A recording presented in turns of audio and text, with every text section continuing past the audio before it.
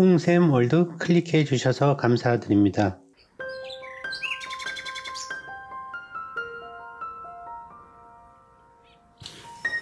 머피의 법칙, 셀리의 법칙, 그리고 줄리의 법칙. 일상생활에서 정말 많이 쓰는 머피의 법칙이란 말 아시지요? 오늘은 머피의 법칙과 그의 반대말 셀리의 법칙 그리고 줄리의 법칙에 대해서 알아보겠습니다.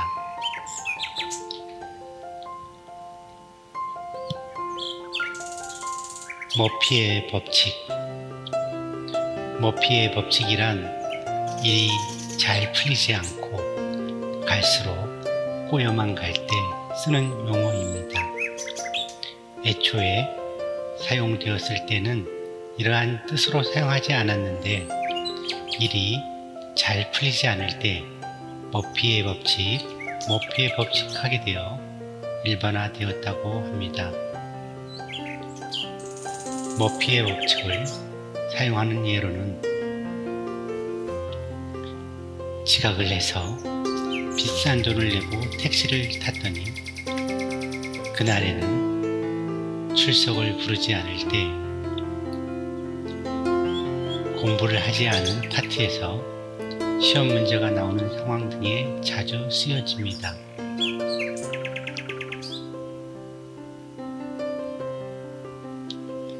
일상 생활에서 누구나 머피의 법칙을 겪어본 적이 있으실 겁니다. 위에 말고도 정말 많은 상황에서 머피의 법칙이라는 말을 사용할 수 있습니다. 사람에게 자꾸 안 좋은 일만 일어나란 법은 없겠지요. 머피의 법칙의 반대말도 있습니다.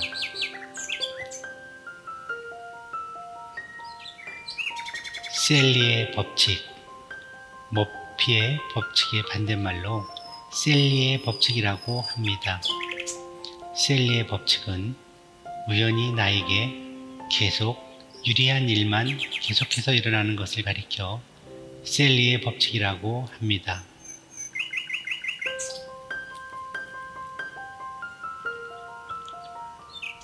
머피의 법칙은 바라는 것은 이루어지지 않는데 자꾸 나쁜 쪽으로만 일이 일어났을 때 사용하는 말이라면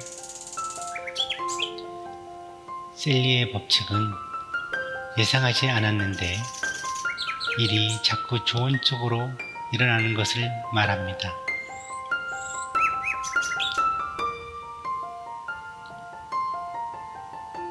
예를 들자면 지각을 했는데 그날따라 교수님이 출석 체크를 하지 않았을 때 화창한 날에 우산을 가방에 넣어 갔는데 갑자기 소나기가 내릴 때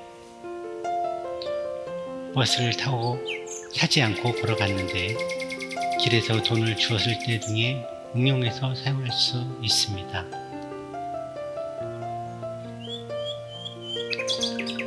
줄리의 법칙 마음속으로 간절히 원하고 바라는 일은 언젠가 이루어진다는 법칙입니다.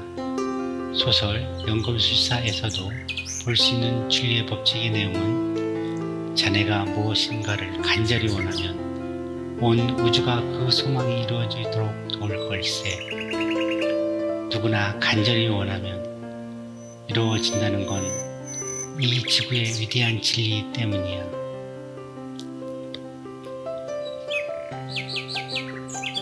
이와 같이 생활을 하면서 나쁜 일, 좋은 일, 바라는 일이 일어나게 되는데 모든 것은 확률과 관련된 것이니 나쁜 일만 일어난다고 좌절하지 마시고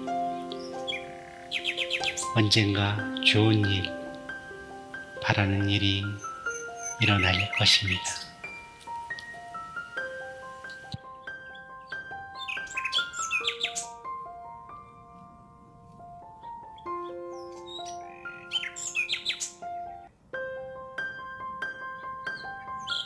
다음 부분은 여러분이 직접 마음으로 읽어보는 시간입니다.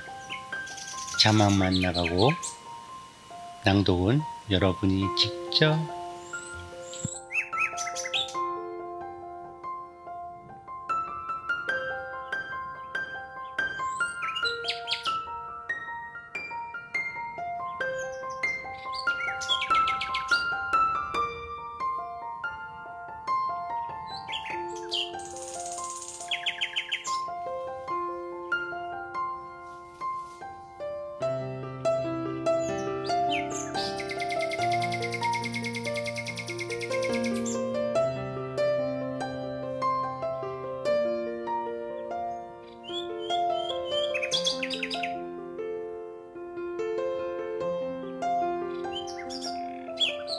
うん。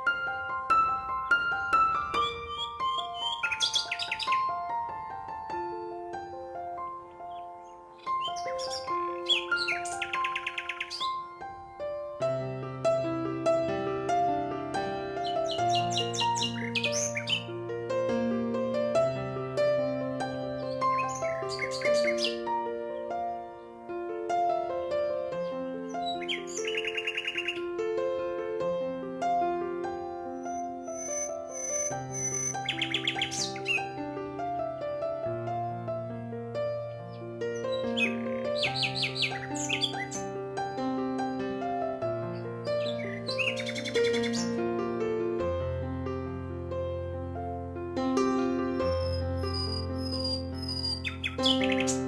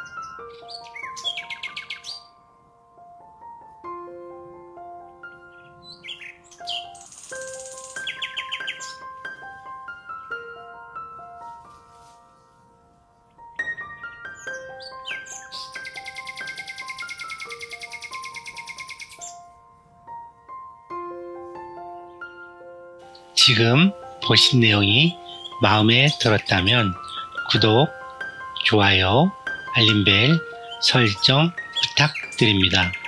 유튜브 구독, 좋아요, 알림벨 설정은 모두 무료입니다.